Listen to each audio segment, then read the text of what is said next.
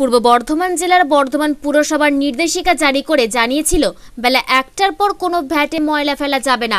এরপরেও কিছু ভ্যাটে ময়লা ফেলা হয় বলে অভিযোগ। শহরের একত্রিশ নম্বর ওয়ার্ডের তেঁতুলতলা বাজার এলাকায় একটি ভ্যাটে বেলা একটার পরও ময়লা আবর্জনা ফেলা হয়। এ ব্যাপারে এলাকাবাসীরা পুরসভাকে অভিযোগ জানিয়েছিলেন।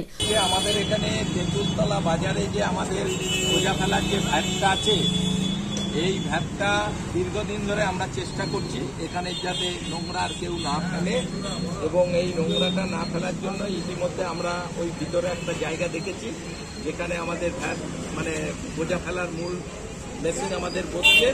কিন্তু সেটা যতদিন না হচ্ছে দু তিন মাস পর্যন্ত হয়তো অসুবিধা হবে। তার মধ্যে আজকে আমরা সিসিটিভি লাগিয়ে গেলাম, কারণ আমাদের এখানে দেখা গেছে যে আমাদের গোজাতলার গাড়ি একটা পর্যন্ত এখানে আমাদের মালগুলো নিয়ে যায়। কিন্তু কিছু মানুষ একটার পরও এখানে গোজাগুলো ফেলে, যে কারণে এখানটা দুর্গন্ধ হয় এবং সামনে একটা মসজিদ আছে।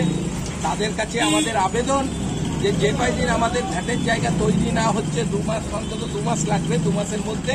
ততক্ষণ এই একটা পর্যন্তই নোংরা ফেলবে, একটার মধ্যে আমাদের গাড়ি তুলে নেবে। একটার পর যাতে কেউ বোঝা না ফেলে, আমরা আজকে সিসিটিভি লাগিয়ে গেলাম। যদি একটার পর এই ঘাটে কেউ নোংরা ফেলে, আমরা পৌরসভা থেকে তাকে চিঠি করে আমরা পুলিশের কাছে কেস তার নামে আমরা কেস করব।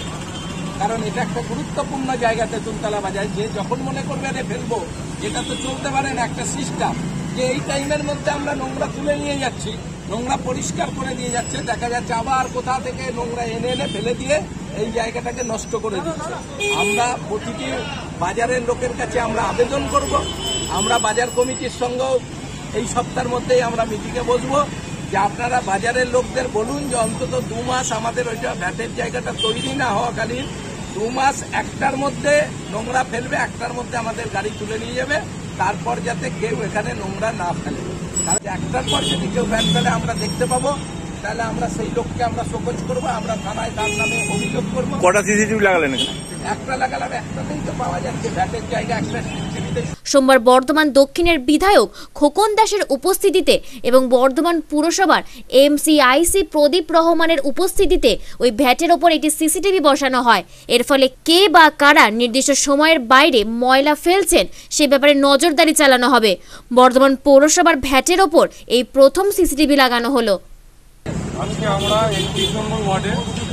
যে রানীগঞ্জের মাথা চৌমাথা যে ভ্যাটটা আছে, এই এলাকার মানুষ বলেছিল, আমরা বর্ধমান বিধায়ককে বলেছিলাম এবং বর্ধমান মিউনিসিপ্যালিটির সহযোগিতায় আজকে আমরা এই ভ্যাটটা আমরা সিসি ক্যামেরা লাগাচ্ছি। আমরা ভ্যাটটা, আমরা বর্ধমান শহরের যে মেন রোড যেগুলো আছে, সেখানে আমরা ভ্যাটগুলো এমনি সব ব্যবস্থা করেছি মেন রোডে কোনো ভ্যাট থাকবে না। এছাড়া আমরা একটা নির্দেশ দিয়েছি, যখনই মানে ভ্যাট থাকবে ভ্যাট যতদিন না আমাদের অল্টারনেট করে ব্যবস্থা করা হচ্ছে আমাদের ভ্যাটে পরিষ্কার পরিচ্ছন্ন কাজ চলছে। এবং সঙ্গে সঙ্গে যে চুন ব্লিচিং ছড়ানো হয় সেটাও আমরা বলেছি। বর্ধমান শহরে যে মেন মেন ভ্যাট আছে সেটা লাগাবো। আমরা তেঁতুলতলা বাজারে আমাদের বিধায়ককে দিয়ে আমরা ওপেনিং করালাম আজকে। আমরা মানুষকে একটা বার্তা দিচ্ছি আমরা বর্ধমান শহরকে পুরোপুরি জঞ্জাল মুক্ত শহর আমরা করতে চাই। বর্ধমান থেকে পম মোহন্তর রিপোর্ট আনন্দবার্তা